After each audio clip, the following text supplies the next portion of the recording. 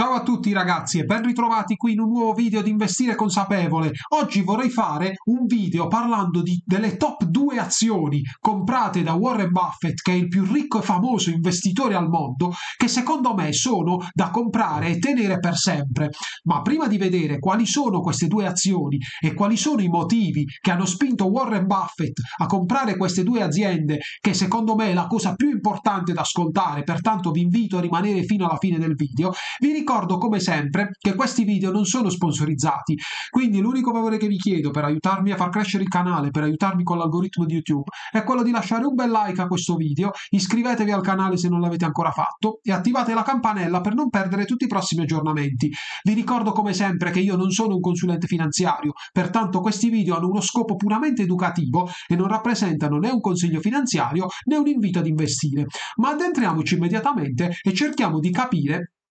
qual è la logica che ha seguito Warren Buffett per comprare queste due aziende. Sicuramente queste due aziende hanno entrambe dei valori che le fanno diventare quasi dei monopolisti e sono dei marchi potentissimi che Warren Buffett desidera ardentemente nel suo portafoglio e ha detto che le deterrà per sempre. L'oracolo di Omaha, come definito infatti Warren Buffett, non ne ha mai abbastanza di azioni che hanno solidi record di capitalizzazione di valore anno dopo anno e non è troppo sorprendente il motivo. Infatti, grazie a questa filosofia è diventato uno degli uomini più ricchi del mondo, addirittura in alcuni periodi è stato il più ricco al mondo e ha sempre fatto crescere sua, eh, il suo patrimonio. Possedere infatti azioni di aziende in crescita affidabili significa ottenere il vantaggio del loro successo per tutto il tempo in cui si è disposti a detenerle. Due società infatti che sono presenti in Berkshire Hathaway, che è il conglomerato e l'azienda di cui è CEO um, ehm, Warren Buffett, corrispondono a questa descrizione e vale la pena di acquistarle a occhi chiusi se si analizzano in maniera corretta e se si comprende comprende perché le ha acquistate Warren Buffett, soprattutto se si riesce poi a pensare di a tenerle per un lunghissimo periodo di tempo. La prima azienda che vediamo oggi, ragazzi, è Johnson Johnson, che può essere acquistata dig- digitando J&J sul vostro broker o conto titoli. Parliamo di un'azienda che prezza 155,97 dollari ad azione, ha una capitalizzazione di mercato di oltre 400 miliardi di dollari, un volume medio giornaliero scambiato di oltre 8 milioni di dollari, un rapporto PE di 23 circa, un dividendo pagato interessante del 2,9%, è quotata sul New York Stock Exchange e ha un indice climatico di sostenibilità finanziaria di grado A come pochissime altre aziende al mondo. Infatti è leader in ecosostenibilità. Rispetto ai massimi storici che sono stati raggiunti in realtà a giugno 2022, se è possibile comprarla con un ribasso del quasi 15% eh, sul prezzo delle azioni. Parliamo di un'azienda fondata nel lontanissimo 1886 con sede in New Jersey negli Stati Uniti, ha 152.700 dipendenti e il suo CEO è Joaquin Duato. Perché Warren Buffett quindi ha acquistato questa azienda? Johnson Johnson, infatti, è una holding del Berkshire Hathaway relativamente piccola come percentuale, ma è un ottimo esempio di alcuni elementi che puntano uh, a far capire qual è lo stile di investimento di Warren Buffett. Questa azienda sanitaria, infatti, possiede marchi leader nella salute dei consumatori per prodotti che le persone usano ogni giorno, come ad esempio i cerotti Johnson Johnson e il Tylenol. Questi prodotti hanno fruttato, infatti, ben 15 15 miliardi di dollari di guadagni nel 2022 e continuano a fornire entrate ricorrenti che non richiedono molto in termini di spese di marketing oppure nella ricerca e sviluppo per essere mantenute. E Warren Buffett infatti ama i marchi con capacità di resistenza poiché forniscono un fossato economico che va a farle guadagnare il, eh, il nome di monopolisti e proteggono quindi le quote di mercato dell'azienda per non parlare poi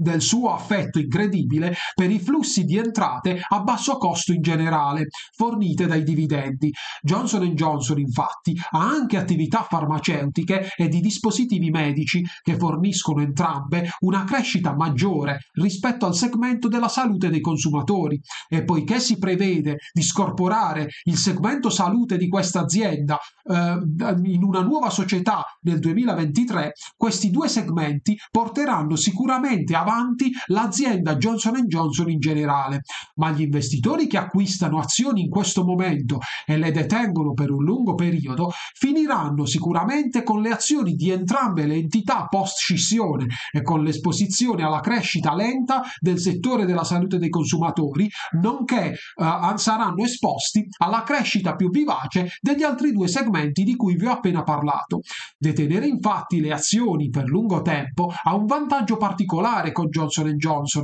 che quasi sicuramente continuerà anche dopo lo spin-off dell'azienda. Il management ha infatti una serie decennale di aumenti di dividendi ogni anno. All'attuale prezzo delle azioni, infatti, il rendimento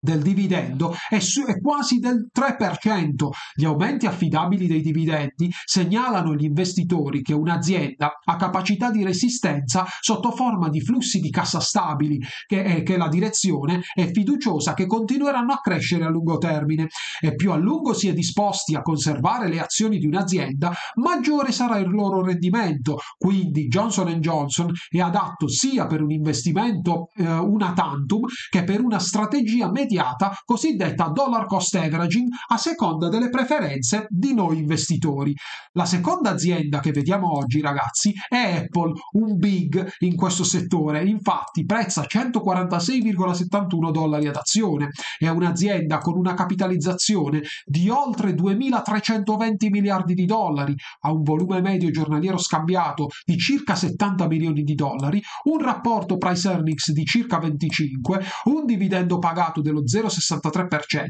è quotata sulla borsa del Nasdaq e ha un indice climatico di sostenibilità finanziaria di grado a meno. Rispetto ai massimi storici raggiunti a dicembre 2021, si può comprare in questo momento con uno sconto del 18% sul prezzo delle azioni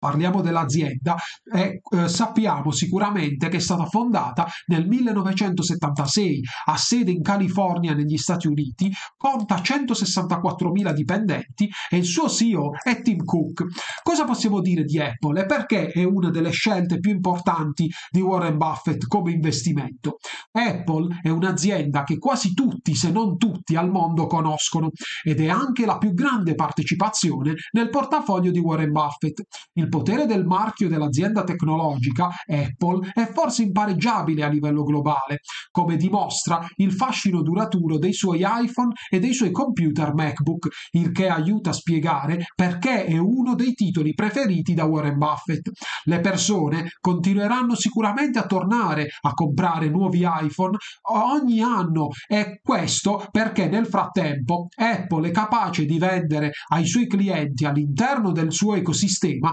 tutti i tipi di componenti aggiuntivi sotto forma ad esempio di servizi di abbonamento cloud, di software tramite il suo App Store e di accessori costosi ad esempio come le AirPods. L'utile netto negli ultimi 12 mesi dell'azienda è stato di 95,2 miliardi di dollari, il che sicuramente non è un valore assolutamente da sottovalutare, tutt'altro.